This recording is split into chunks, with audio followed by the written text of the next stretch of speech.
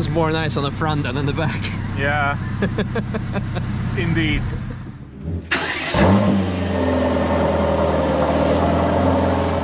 Now that is a proper good morning comrades. Welcome back to the channel, welcome back to the Nürburgring and welcome to the very first Mercedes AMG GT Black Series. Not the first one at the Nürburgring, but the first one probably that's going to get some adjustments. It just got delivered here by Bongard Truck. Was no incidents involved. Bongard also does normal transportation, but it got delivered to our dear friend Lukas Hello. and this building that used to have a Renntech sign. What happened to the sign? Well, we took it off. The decision was made uh, basically uh, already last year to, uh, yeah, open up a new brand for several reasons, and uh, we've been using the, uh, you know, this crisis also to adjust a few things uh, and uh, make some deci- decisions that were, uh, you know, like, will we, for example, stay with only the AMG brand, but more to say in a few moments. Yep. So, Black Series going inside. We're looking forward to it. We're gonna put it on the lift, right, and Yeah, have a closer yeah, yeah. look underneath. obviously, so we can see the aero and everything. Well, it's quite obvious right now already. It's way too silent for most of our customers. so uh, I can already say we have something not even planned, but ready Okay. to uh, to fit into this car. We are happy actually to have really uh, one of the first uh, uh, cars delivered here because uh, there have been some delivery, um, you know, uh, problems and challenges with, with COVID and everything. But yeah, Of course. Hi, Jan. Hi. How are you doing?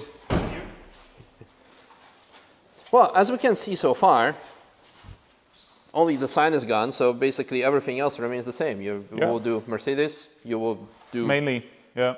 Can we can we mention the name already? Uh, yeah, it's Opus Automotive.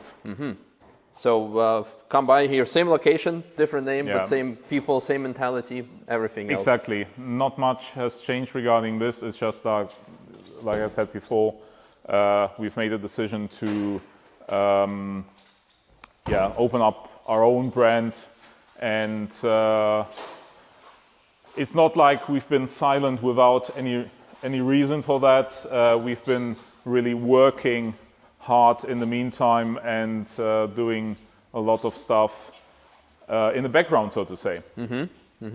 So what are the plans with the Black Series? Uh, obviously, we already have a prepared uh, stage one tune for it. Bigger turbos are uh, also on the shelf. Um, Because the stock 720 Uh, or eight- eight- 30 or 40, Yeah, I don't so- remember. You know, PS, 730, yeah, yeah. PS and HP is also a little uh, different. Um, That's I mean, obviously not enough. for most of the customers, it's not enough. I mean, this car has less than uh, the cars which are on the lifts over there. Yeah. So, uh, which are 760 or even uh, 900 horsepower. Um, in general, this setup, disregarding the flat crankshaft uh, on, on this engine, which is new, uh, this turbo upgrade setup, this is something we did already uh, three years ago. So, uh, Even before the Pro was released. yeah, already- exactly, exactly. And uh, yeah, I mean, it's still a GT, but a very special one, as most of our viewers will, or your viewers uh, uh, will know. And uh, yeah, it's a limited car. Uh, deliveries has have just begun, and uh, I mean, what's quite nice is really to see um, many of the bits that usually uh, some people might have seen on, on a GT3 race car already, especially when it comes to, to the front section here with the way, you know, uh, the cooler is uh, installed, the way the, the air is going through the intercoolers and going out of, of uh, the bonnet. So, um, yeah, I'm really looking forward to have the car on the dyno, hopefully even today, um, at least for for first uh, run to see, uh, you know, what numbers we can get out of it. But um, yeah, I'm excited. So basically, uh, the most of the work will be done to the engine, of course, because Yeah. that's what your customers are Yeah. uh, re- requesting. Uh, I mean, horsepower is never enough. I'll, I'll give them that. And actually, Lukas has proven in the past that he can make the hor- high horsepower numbers work on the Nürburgring with the, with previous projects, the GTR Pros, etc. So um, also when necessary, you will adjust also the suspension if it will be required, the, the Yeah, I mean- brakes. but some parts are still new to us regarding this car. I've been waiting really to get uh, uh, the first car in here for, for really too long because um, deliveries should have started already in um, yeah November and December last year, but uh, I think just one or two cars worldwide have been uh, delivered just before um, just before uh, Christmas, and then uh, deliveries have stopped for various reasons. Um, We can go more into detail regarding this car, uh, uh, basically when we see it also on the lift. Yeah, I think we should do that. First, I want to. Where's the? Is this the? Is the key in here? I want to see the, the mileage. I think a lot of people want to.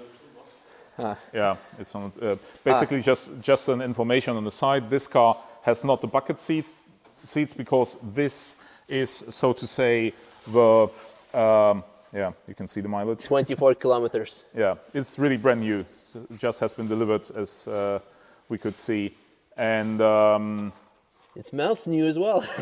yeah, because it is. what this car is basically missing, and I think uh, the typical spec will be um, the bucket seats and the titanium cage. We, this car doesn't have it for a good reason because we are going to uh, because we are going also to develop um, our own roll bar and uh, roll cage uh, for those customers, like the American market, for example, which don't have the option even to to uh, you know uh, choose. The cage, The- yeah, the because, cage, because- no, no, yeah, yeah, it's yeah, the same with GT2 RS. It- it's the same with the seats. You can't get the bucket seats in the US, Uh-huh. and uh, I think in Canada. I'm not sure about Australia, to be honest, Mm-hmm. but some parts of the world are a little bit different. Mm-hmm. Yeah? So uh, this is why this car has the spec, so we can give customers the option also to to you know retrofit um, stuff they can't get from factory. Makes sense, makes sense. So you, you, you got the, the, the normal seats so you can see Yeah. if your system is going to work with the normal because seats you know, in the US. depending on uh, the four-point harness, where the, the belts should go, and this and that. So uh, we already did it. Um, we also have a retrofit uh, cage for the normal GT, GTS. Some customers who, who are running a GTS uh, or both a used GTR want to have uh, uh, you know self-retrofitted and don't always want to go with the factory stuff. Mm-hmm. So you know we are just continuing doing what we did already in the past. And uh, I mean I can even show you it's it's possible to do it here on the A class, We know this car from Yeah. last year. and now it has nice bucket seats fitted also. Nice. Yeah, this is something that we were missing during our lap. well, as the car is being prepared to go on the lift and some other stuff, we remember this car. We rem- remember some of those cars. We saw this car at REM, I believe. Um, this car we haven't seen before Nope. because there is something special about it. yeah. What's up with those race seats? Yeah, basically, uh, this customer is using the car mainly for track days. So uh, the wish was not only to get the uh, roll cage fitted, uh, but also to go with proper race seats. I mean, it's still a heavy Why not? boat. Why not? Yeah, I think there's also like some big wing missing. yeah, yeah. It's you, you know, if if you want to drive it on the car, you can just uh, uh, um, put it down. Yeah, interesting. Well, and then final thing before we're gonna actually put it on the lift. One thing I noticed that I haven't seen before: Aston Martin. Yeah. And nowadays it's kind of obvious because they're running AMG engines. I think also in Formula One they're gonna be running AMG engines. I To be honest, I don't even know which engines they're going to run, but I think Yeah, Yeah. and to, AMG bought 20% of stake in Aston Martin anyway, Yeah. so it makes sense that you, as an AMG tuner, will be doing something to this, I assume, Yep. and seeing. it's already my- been it's already been done. I don't want to open up the hood, but uh, basically you can imagine uh, some stuff that you could see here, Yeah. like twin scroll turbos, already fitted into this car. Mm-hmm. Uh, I mean, the difference between the GT and the Aston, uh, the Vantage V8 and also the DB11 with this uh, V8 engine from AMG is uh, mainly that this engine inside here is um, the C63 engine, so Mm-hmm. it's not a dry sump, uh, com, uh, uh, you know, dry sump engine like uh, on, on the GT models, but basically this exact engine, Mm. like you, you can see it here. So Mm-hmm. this is actually a, a C63 engine. Okay, okay. It's called internally M177 LS1, Leistungsstufe 1, Okay. basically the, the, the first power stage. So that's a four liter or that's still a 4 liter. the, the yeah. four, still the four liter and the eight cylinder and Yeah, not the still. four cylinder. Yeah. yeah, but you know, let's see. I mean, uh, uh, Yeah. as- exactly. That that's the uh, answer. So should we put it on a lift? I guess. Or Uh, yeah, basically we're just checking, you know, uh, the car already for software updates because nowadays you can even have the thing that you get the car delivered from the factory, but it's not up to date Oh, wow. because it was built last year. Then Uh-huh. it was, you know, blocked at the uh, production plant in Sindelfingen uh, uh, b- because. Uh, you know, there, there has been some, some time in between. It can happen that you get a new car, but it's not up to date. Hmm. So we are already checking for updates. Well, cool. Well, let, us check for updates, and I would say fast forward when the car is on the lift because I'm very excited to see what is underneath the car. One thing, by the way, look at that. There are even aerodynamic elements to guide the air inside the engine. That's like really crazy. A shark fins. Anyhow, software was up to date. Software is up to date, yeah. So, uh, you know, it's quite important because uh, it doesn't make sense to um, start tuning a car based on an old software when every other customer car will be updated. So, uh, this was quite important for us to know if the car is up to date. Mm -hmm. Nice. So now we can have a look underneath. Probably we're gonna see lots of flat things, but also lots of extra aero curtains. Starting with here. Oh, it's made of rubber. Yeah, I, I am quite sure if you go through the carousel, You'll be very need to- happy. you may need to maybe even, you know, get a few new ones depending on how often you go uh, through the carousel. So, Yeah, that, that's a very good good thing. Oh no, there's a spider. The first Black Series spider in the world, probably the only one. It needs to go out on the track as soon as possible. You already. Okay. Anyhow, on the back, is there anything that we you can see in terms of the suspension design? uh, well, yeah, this is the new, completely new suspension which was made for uh, for the Black series, and this car compared to the Pro and the other GTR models is missing the active steering for the rear. So as you can see, this is a solid part. Uh, what's also new is this cooling system. Okay. We had something similar made, so in this case, we don't need to have a retrofit aftermarket part built. Okay. So here, this one. Nice. Yeah, that's also new. Mm -hmm. So that you don't have on the GTR or GTR Pro Yeah, models. there's no cooling at all for the back. Yeah, you were saying when you had the Pro, I think two years ago when you got it, that the cooling was a big issue on the Yeah. GTRs. Yeah, And also on the Pros there was none, and here you have it. yeah. This is uh, also way bigger than it was Okay. before. You can also see it's uh, even made of three parts now. So uh, this is also new, basically like on a proper race car. Okay. Oh yeah. Wow, th- they really thought about it. That's good. Yeah. Carbon fiber sway bar. Yes. Is that also Uh, different from the Pro Uh, basically, the Pro already had this. Okay. Okay. I, I don't know if it's the same part number at the moment, but uh, this is new. Uh, what's also new? The subframe here is new. Uh, it's a it's a lighter one because the old one was made from steel. Um, the exhaust system is very similar. As you can see, this is a model with particle filters, so we have particle filters here and cats up there. There is also an export market version where here you don't have particle filters, but you have cats also from factory. These cars are a little bit louder than the European models or the models which will be delivered to other countries with the particle filters. Of course. But still, it's not loud enough. I already have, you know, calls from customers like, okay, I'm getting my Black Series soon. When can I come?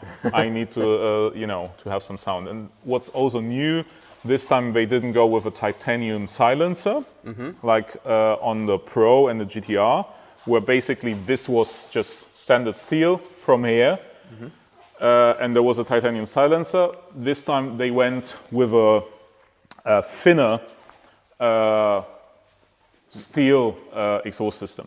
Do you, do you think it has to do maybe something with weight distribution or? To be honest, uh, I don't really know the reason for that.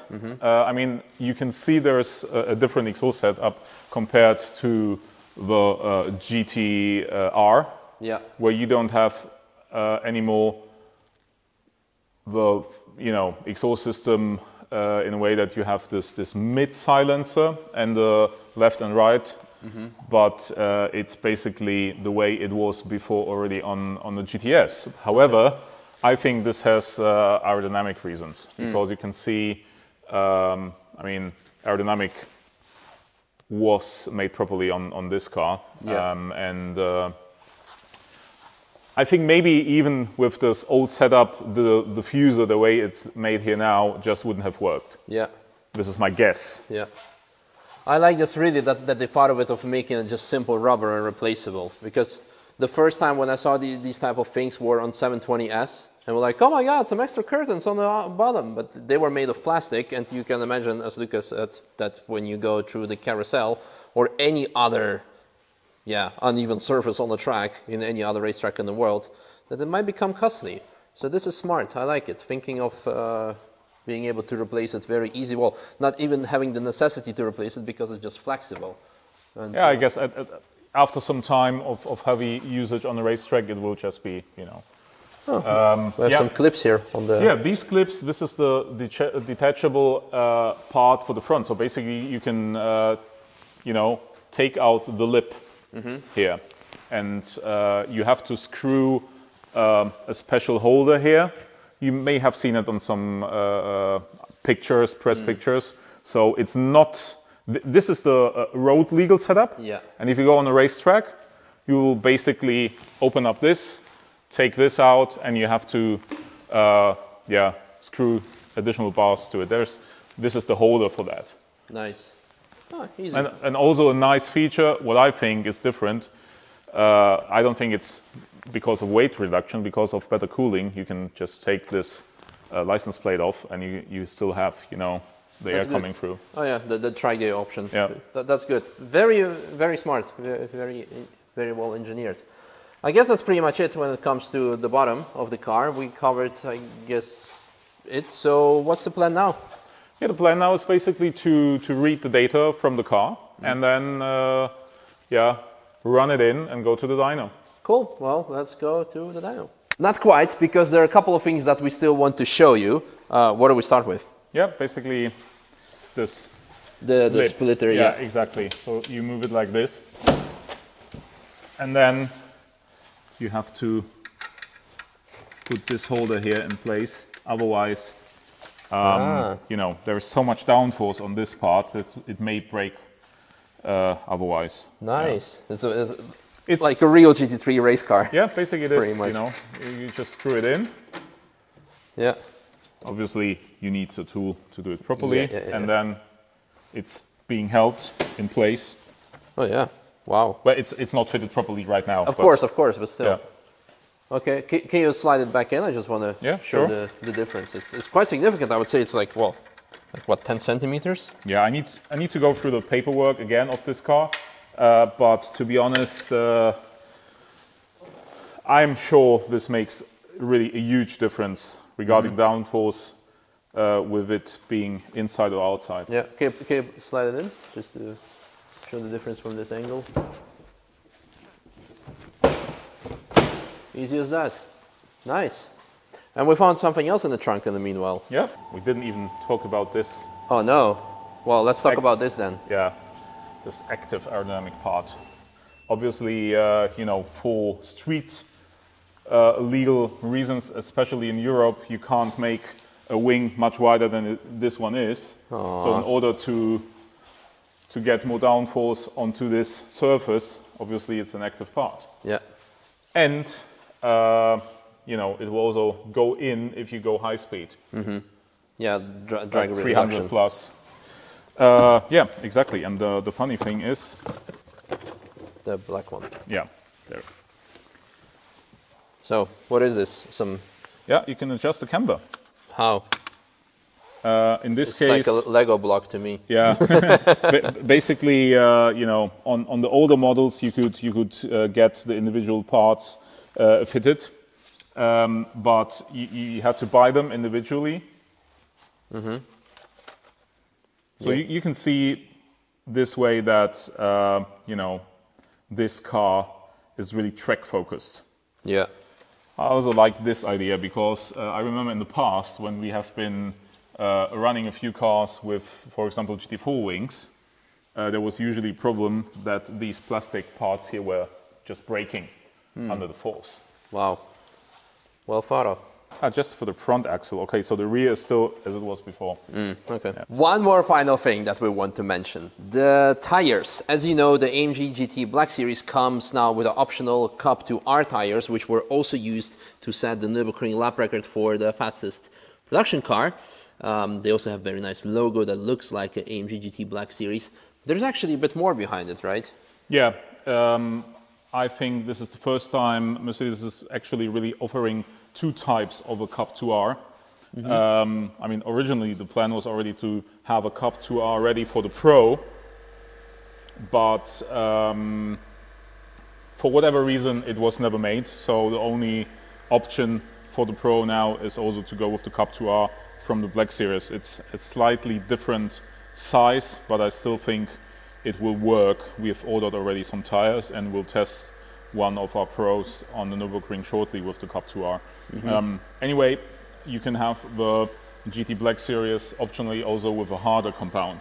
Okay, So- because that's the MO1A. yeah, there is basically exactly there is a the delivery spec which is the softer compound. Nice. But if you want to have a harder compound, then you can get it, but only exclusively through AMG um, directly or AMG performance centers.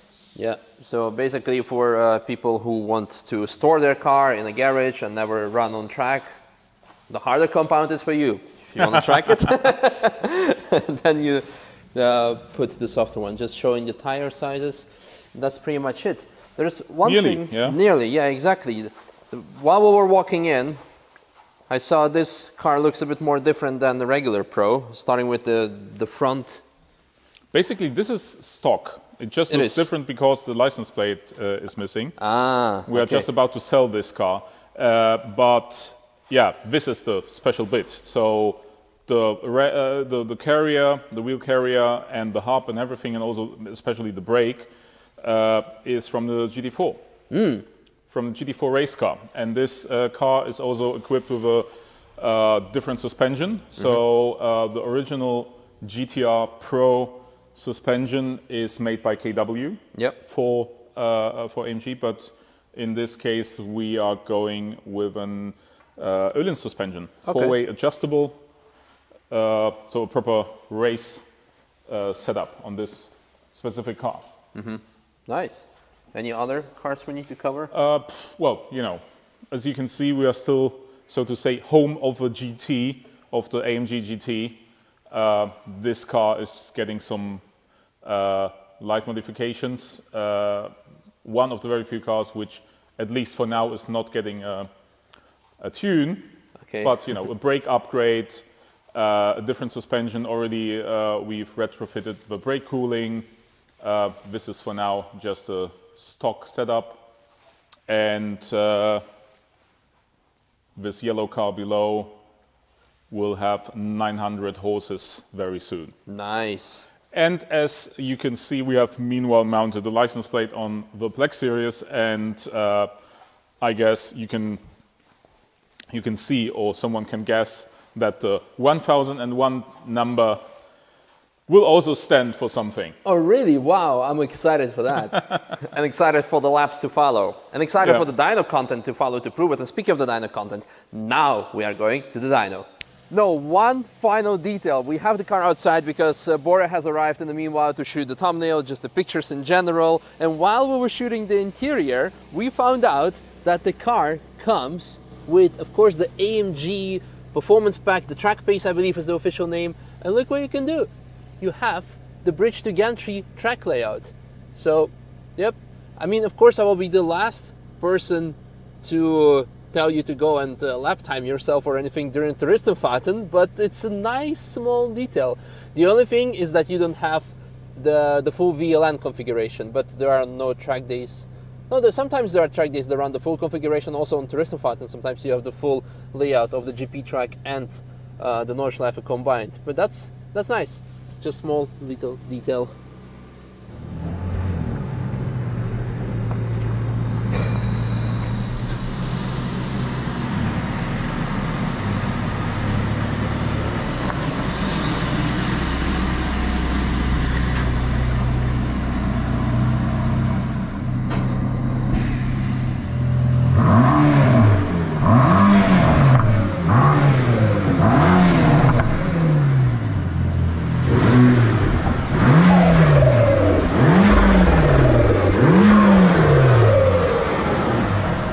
It sounds more nice on the front than in the back. Yeah, indeed. All right, have fun. Thanks.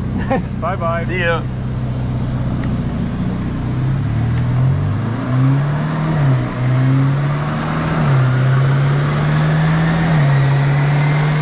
And that's it for today's video. We're not going to go full load, full crazy to see how much horsepower it actually produces. So I'm sorry for that because you've seen the car is brand new. It has still, the engine needs to be broken in. And this is what Lukas will be doing today for the rest of the day. Breaking in the engine on the dyno and also reading out the ECU because the car is not PPF. That's why he's not doing it on the road. So why not? But hey, stay tuned. Soon there will be lots of upgrades coming on the car. We'll be taking it out on the track. You know, subscribe, like, share. But it was already very cool to have a first look in detail on the first Black Series that is going to be soon having over 1000 horsepower and going very fast on the ring. Very much looking forward to that. Thanks for watching. Bye bye